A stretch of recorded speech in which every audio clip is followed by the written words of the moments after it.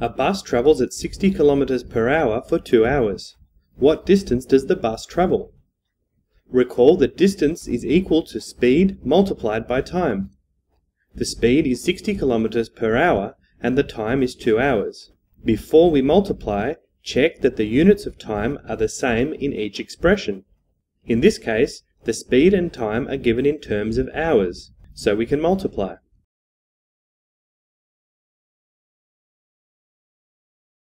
Sixty times two equals one hundred and twenty.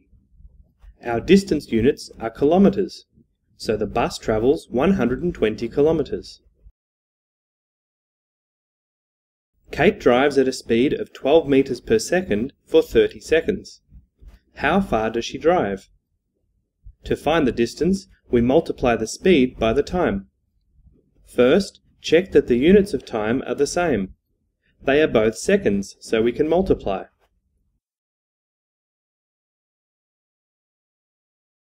12 times 30 equals 12 times 3 times 10, which equals 360.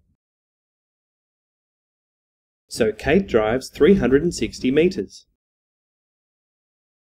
A rocket travels at 2,500 kilometers per hour for 15 minutes. What distance did it travel?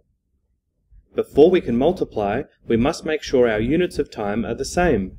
The speed is given in terms of kilometers per hour, and the time is given in minutes.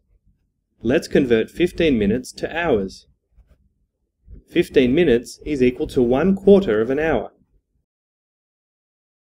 So the distance is equal to 2,500 multiplied by one quarter.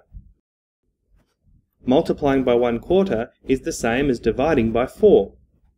2,500 divided 4 equals 625 so the rocket traveled 625 kilometers.